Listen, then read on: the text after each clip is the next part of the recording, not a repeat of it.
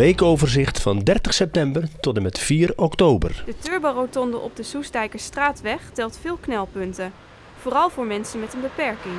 De rotonde is onderdeel van de weg naar het ziekenhuis en daarom is het belangrijk dat hij goed toegankelijk is. Omdat de opritten niet aansluiten op het trottoir, wordt het voor rolstoelgebruikers of mensen met een scootmobiel lastig om overheen te rijden. Overige knelpunten zijn dat er te weinig hulpmiddelen voor slechtzienden zijn en dat de stoepranden te steil zijn. Een andere vervelende, maar vooral gevaarlijke verkeerssituatie is de kruising van Riebeekweg-Oosterengweg. Dit geldt vooral voor fietsers. Je hebt ongeveer 3 seconden om over te steken omdat zowel gemotoriseerd als ongemotoriseerd verkeer tegelijk groen licht krijgt. Hier komen we zeker nog op terug. Stichting R komt met een nieuw initiatief. Een alcoholvrij drankcafé voor jongeren tussen de 16 en 18 jaar. Volgend jaar gaat de nieuwe horecawet van start, waarbij jongeren pas vanaf hun 18e alcohol mogen drinken. De stichting wil een plek creëren waarin jongeren veilig uit kunnen gaan zonder dat ze op straat gaan hangen. Nou, wat wij zien is dat de leeftijdsgrens voor alcohol van 16 naar 18 gaat. Dat vinden we op zich hartstikke goed. Maar jongeren die net gewend zijn om een beetje uit te gaan, ja, die kunnen nu, hebben helemaal geen plek meer om naartoe te gaan, want ze mogen de kroeg niet meer in. En daarom hebben wij bedacht dat er een kroeg moet komen voor jongeren. En uh, waarom gaat het werken? Nou ja, we, we denken dat, je, dat het leuk is om toch op de, in het uitgaansleven in Hilversum een plek te hebben waar jij ook uh, te midden van het andere uh, feest- en stapgebeuren ook gewoon lekker uh, gezellig met je vrienden ergens kan zijn. Het idee is ontstaan vanuit de Stichting R, Stichting Respect, waarin we onder andere kroegentochten voor ouders organiseerden. En al pratende met die ouders op die, op die avonden kwamen we er eigenlijk achter dat zij zich ook zorgen maken over die verschuiving van die leeftijd. En dat ze nu soms al niet weten van goh, waar, waar hangen mijn kinderen uit, maar strakjes wordt dat nog veel lastiger. En uh, is hier, hierover ook gesproken met de jongeren zelf, wat zij van het idee vinden?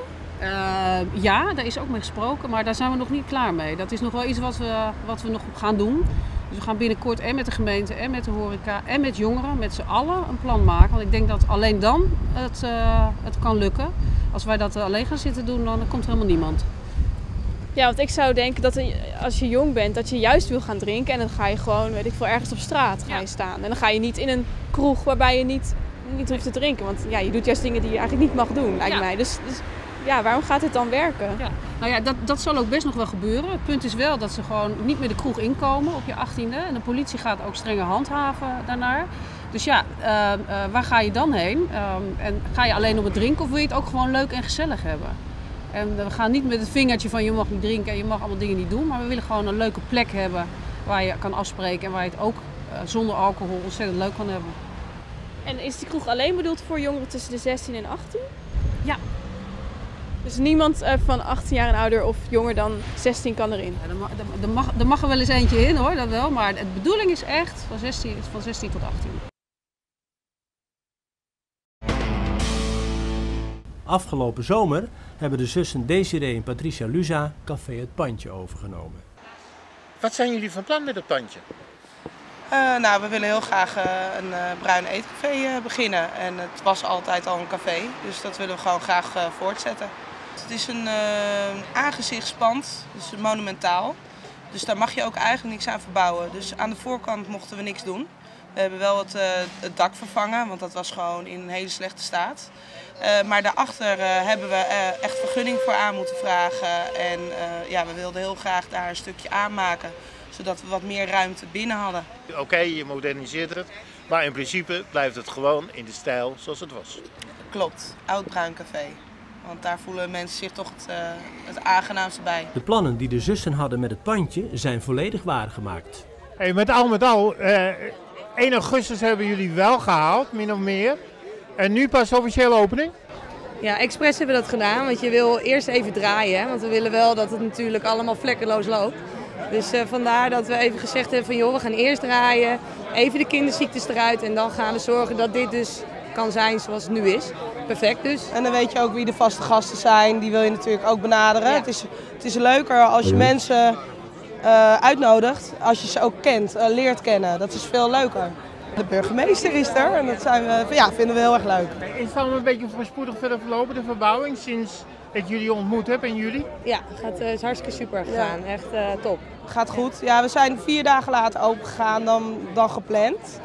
Maar al met al, we hebben gewoon een hele goede zomer gehad nog die laatste maand. En het was hartstikke gezellig. En eh, we doen het met ons plezier. En eh, het, ja, het is gewoon helemaal te gek. De aankomende zomer gaat helemaal top worden. Weet ik zeker. Maar eh, we hebben maar één maandje augustus gehad natuurlijk. Hè.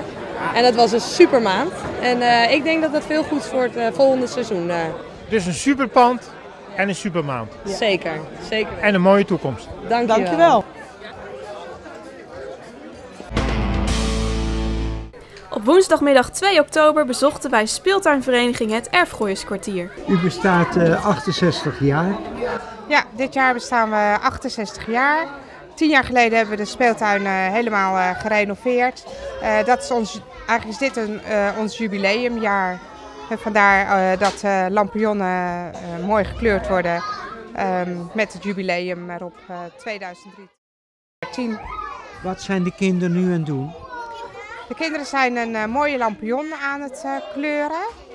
Die, we gaan morgenavond een lampionnenoptocht lopen. Donderdagavond. We vertrekken om kwart over zeven. En die kinderen zijn ja, het heel mooi aan het maken als ik het zo eens bekijk. Dat is wel een heel succes hè, voor eh, Dit is, jaar. ja, het is van oudsher eh, hebben ze ook altijd lampionnenoptocht eh gelopen. En we dachten zo'n vijf jaar geleden, nou dat pakken we toch weer eens op. En sinds vorig jaar komt ook Jong Beatrix ons versterken. En ook dit jaar komt Jong Beatrix voorop lopen. Dus wij laten goed van ons horen, ja. Ik wens u veel succes. Komt helemaal goed.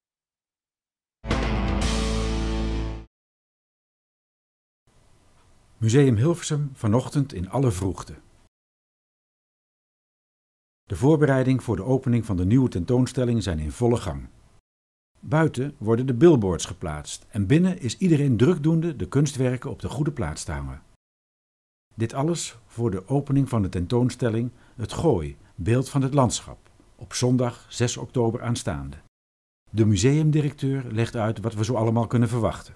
De geschiedenis van het Gooi zit heel erg vast op eh, landschap en natuur. Eh, voor een deel ook, en dat kunnen we overigens hier wel zien, eh, op de Romeinse tijd. Want in, in deze vitrine zien we een aantal objecten die te maken hebben met, met de archeologie. Prachtige urn, heel mooi zwaard. Geschiedenis is natuurlijk ook Tweede Wereldoorlog. Waarbij Hilversum natuurlijk een heel belangrijke en bijzondere plek heeft ingenomen. Omdat we voor een belangrijk gedeelte NSB'ers ingekwartierd hadden. Nou, hier is een prachtige foto op te zien van de bevrijding, eh, massaal gevierd. Hier zien we een aantal, eh, ehm, wat toen werd genoemd, moffenhoeren, eh, gearresteerd en meteen kaal geknipt. Het gooi is natuurlijk ook nog, en dat zien we hier, ehm, eh, klassiek Nederlands polderlandschap. Het landschap in Nederland is eigenlijk het mooiste als je vanuit een vliegtuig hè, van pakweg van Amsterdam naar Parijs ziet. Ja. Hoe rondom Schiphol al die slootjes lopen en die landschappen zijn gemarkeerd. Dat heb je tussen Hilversum en Akkerveen precies hetzelfde. Een tentoonstelling in drie lagen. Boven educatie en geschiedenis. In het midden klassieke schilderijen. En verder in de kelder videokunst. Ja, we zijn hem nu nog aan het, eh, aan het uittesten.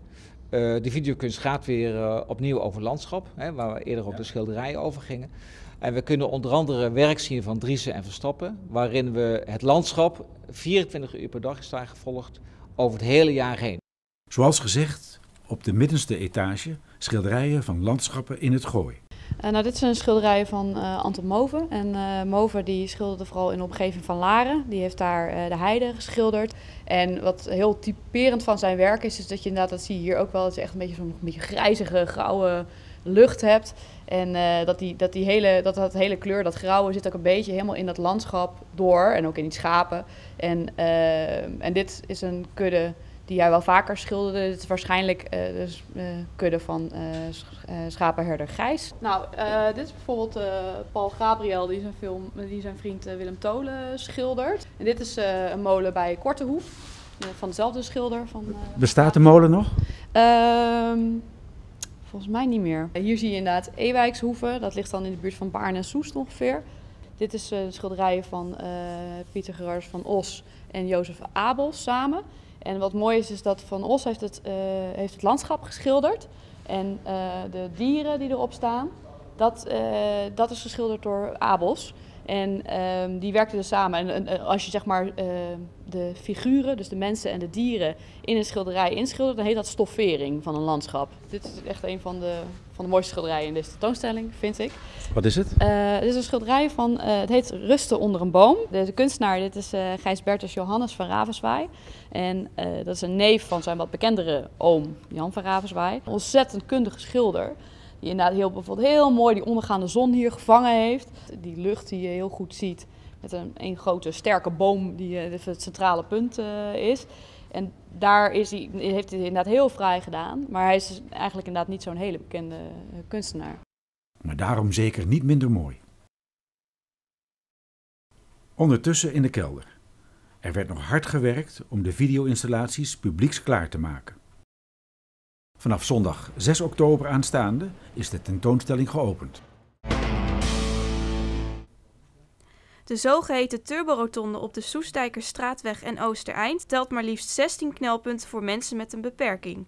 Dit staat in een adviesrapport van de regionale schouwgroep Gooi en Vechtstreek dat samenwerkte met het platform Gehandicapten en Chronisch Zieke Hilversum. Sandra Zwagerman, lid van de schouwgroep, zit in een rolstoel en is medewerker van het adviesrapport.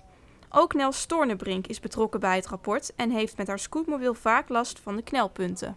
Nou, in het adviesrapport staat uh, dat er voornamelijk uh, bij het oversteken van mensen met een uh, rolstoel Ehm, de oversteek niet helemaal soepel gaat. En dat betekent dat de trottoirbanden zijn verlaagd, waardoor er een goot ontstaat. En de voorbeeldjes van een rolstoel zijn gewoon ja, wel wat kleiner. Eigenlijk geldt het voor de hele rotonde dat, uh, ja, dat die rolstoelen klem gaan zitten in de goot. Nou, het ergste wat er kan gebeuren is dat eigenlijk iemand voorover klapt. En uh, ja, dat is niet geheel veilig. De rollators blijven ook uh, vaak vastzitten. Nou, voor blinden is eigenlijk één route bepaald. En dat mag ook volgens de Europese richtlijnen. Dat ze niet langs deze kant komen, maar via de andere kant. En daar is bij een geleidelijn, ligt net iets te ver van elkaar vandaan. Waardoor je als je blind bent je niet goed meer kunt oriënteren op uh, je richting. We kijken echt naar uh, uh, verschillende soorten beperkingen. Dus we nemen ook altijd, als we gaan schouwen met de schouwgroep, iemand mee met een zelfbediende rolstoel, met een rollator, iemand die slecht ziet of blind is, iemand met een scootmobiel. En zo heb je een, een gevarieerd aanbod van mensen die daar in de praktijk mee te maken hebben. En die zeggen, hé, hey, hier kom ik niet meer verder. Uh, dit moet dus anders. U komt uit Hilversum en uh, waar heeft u nou precies last van als u op deze rotonde rijdt met uw scootmobiel? Uh, inderdaad, de op, de op- en afritten. De hoge stoepen die er zijn. En ik vind het ook heel moeilijk het verkeer wat, waar je goed op moet letten. Als ik vanaf het centrum kom, dan moet ik uh, een stoep uh, nemen en de, op die stoep staat een boom uh, in de weg. En ik kan niet langs die boom. En hoe reageert de gemeente op jullie rapport? Heel enthousiast. Ja, het rapport is vorige week donderdag aangeboden in de tuinzaal van het gemeentehuis. En nou, dat is gewoon heel goed ontvangen. Volgende week is de week van de toegankelijkheid. Dat willen ze meteen aangrijpen om de verbeterpunten die wij geadviseerd hebben ook hier daadwerkelijk door te gaan voeren. Uiteindelijk komen wij daarna natuurlijk nog even kijken. We gaan uh, een klein feestje met elkaar vieren. Dat, uh, dat straks iedereen gewoon veilig van deze rotonde gebruik kan maken.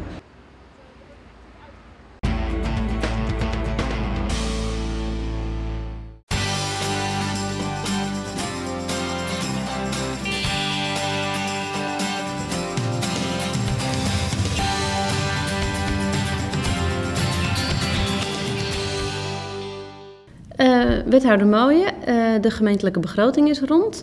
Wat gaat dit betekenen voor Hilversum? Het college uh, heeft een begroting 2014 die sluitend is. Ook 15 en 16 zijn sluitend. dat is heel belangrijk natuurlijk, dat we de financiën op orde hebben. en het nieuwe college kan dan ervoor zorgen, vrij snel al in het begin van hun collegeperiode, dat ook de jaren 17 en 18 sluitend gemaakt worden. Daarnaast is het van belang uh, dat wij de lasten voor de burgers langjarig stabiel houden, zelfs iets zullen verlagen. Uh, we hebben egalisatiefondsen voor de rioolheffing en voor de afvalstoffenheffing. Dat betekent dat we potjes hebben gemaakt van geld wat de mensen hebben betaald. Dat geld gaan we langzaam, heel langzaam aan de komende jaren aan de mensen, aan de inwoners teruggeven. En dat betekent dus dat vanaf 2014 tot en met 2018 de lasten steeds een beetje zullen dalen.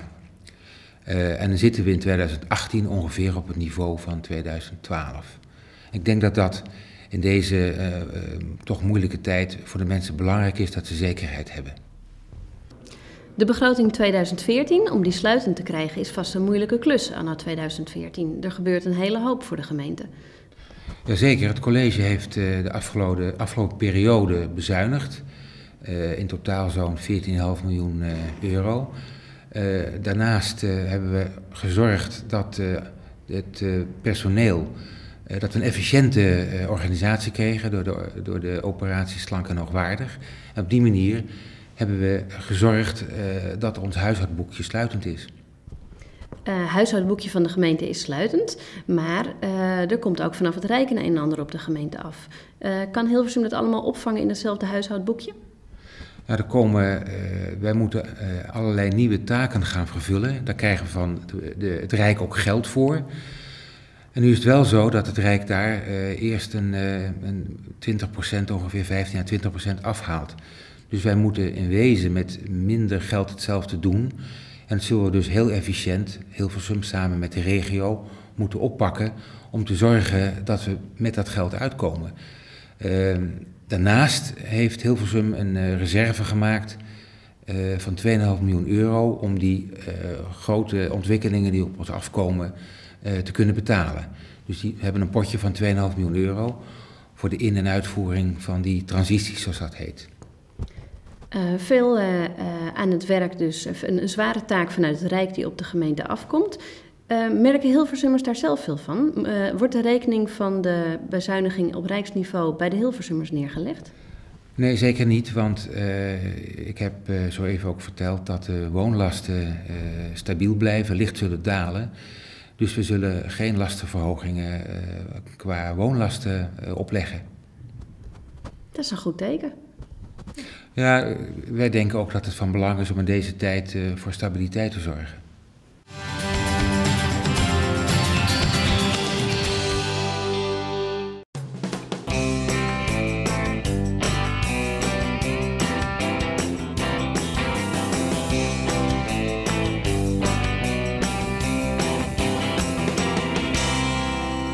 Een mooie, zonovergoten herfstdag ga ik naar het dierenasiel voor het dier van de week.